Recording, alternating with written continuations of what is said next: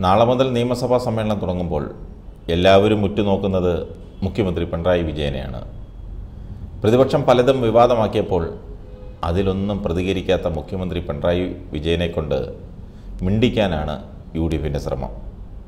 അതിനായി പല ആരോപണങ്ങളും അവരുയർത്തുന്നുണ്ട് മാധ്യമങ്ങളെ കണ്ടിട്ട് തന്നെ അഞ്ചു മാസങ്ങളേറെയായി.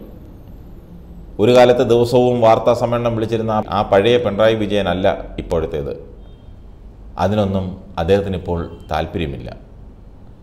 തനിക്ക് ഇഷ്ടമുള്ളപ്പോൾ പ്രതികരിക്കും എന്നതാണ് അദ്ദേഹത്തിന്റെ ഇപ്പോഴത്തെ ശൈലി. അതുകൊണ്ട് തന്നെ പിണറായിയെ കൊണ്ട് ഉരിയാടിക്കാൻ തന്നെ തീരുമാനിച്ചാണ് നാളെ തുടങ്ങുന്ന നിയമസഭാ സമ്മേളനത്തിന് ഞങ്ങൾ എത്തുന്നതെന്നാണ് പ്രതിപക്ഷം പറയുന്നത്.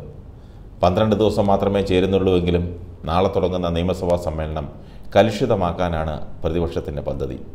മിത്ത് വിവാദം പോലീസുമായി ബന്ധപ്പെട്ട വിവാദങ്ങൾ തുടർച്ചയായ ഗുണ്ട ആക്രമണങ്ങൾ സാമ്പത്തിക പ്രതിസന്ധി മൈക്ക് വിവാദം ഏക വ്യക്തി നിയമം തുടങ്ങിയവയൊക്കെ നിയമസഭയിൽ അടിയന്തര പ്രമേയങ്ങളായോ ചോദ്യങ്ങളായോ സബ്മിഷനായോ കൊണ്ടുവരാനാണ് പ്രതിപക്ഷത്തിന്റെ നീക്കം. മുഖ്യമന്ത്രിയെ കൊണ്ട് പ്രതികരിപ്പിക്കാനുള്ള വേദി ഇപ്പോൾ നിയമസഭ മാത്രമായിരിക്കുകയാണെന്നാണ് പ്രതിപക്ഷത്തിന്റെ ചിന്ത. തുടർച്ചയായി അടിയന്തര പ്രമേയ നോട്ടീസ് സ്പീക്കർ തള്ളുന്നതും പ്രതിപക്ഷ പ്രതിഷേധം സഭ ടി വി കാണിക്കാത്തതുമടക്കമുള്ള വിഷയങ്ങളാണ് കഴിഞ്ഞ നിയമസഭാ സമ്മേളനത്തെ പ്രക്ഷുബ്ധമാക്കിയത്. കോവിഡിന് മുൻപ് ചോദ്യോത്തരവേള പകർത്താൻ മാധ്യമങ്ങൾക്ക് ഒരുക്കിയിരുന്ന സൗകര്യം പുനഃസ്ഥാപിക്കുന്ന കാര്യത്തിൽ സ്പീക്കർ തീരുമാനമെടുത്തിട്ടില്ല. റോഡ് ക്യാമറയും ആലുവയിൽ അഞ്ച് വയസ്സുകാരി കൊല്ലപ്പെട്ടതും പ്രതിപക്ഷം സഭയിൽ ഉയർത്തും. മിത്ത് വിവാദം എങ്ങനെ നിയമസഭയിൽ അവതരിപ്പിക്കണമെന്ന കാര്യത്തിൽ യു ഡി എഫ് ഇതുവരെ തീരുമാനമെടുത്തിട്ടില്ല. സ്പീക്കർ ഷംസീറും സി പി എം സംസ്ഥാന സെക്രട്ടറി എം വി ഗോവിന്ദനും വിവാദം തണുപ്പിക്കാൻ ശ്രമിക്കുന്നതിനാൽ നിയമസഭയിൽ വിഷയം ഉയർത്തിക്കാട്ടേണ്ടതുണ്ടോ എന്ന സംശയം യു ഡി എഫിലെ ചില നേതാക്കൾ പങ്കുവച്ചു.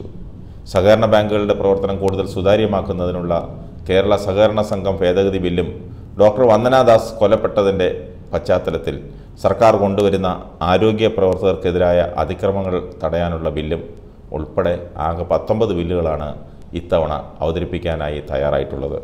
അൻപത്തിമൂന്ന് വർഷം തുടർച്ചയായി എം എൽ എ ആയി പ്രവർത്തിച്ച ഉമ്മൻചാണ്ടി ഇല്ലാതെയാണ് പതിനഞ്ചാം കേരള നിയമസഭയുടെ ഒൻപതാം സമ്മേളനം നാളെ ആരംഭിക്കുന്നത്. ഉമ്മൻചാണ്ടിക്കും മുൻ സ്പീക്കർ വക്കം പുരുഷോത്തമനും ചരമോപചാരം അർപ്പിച്ച് നാളെ സഭ പിരിയും.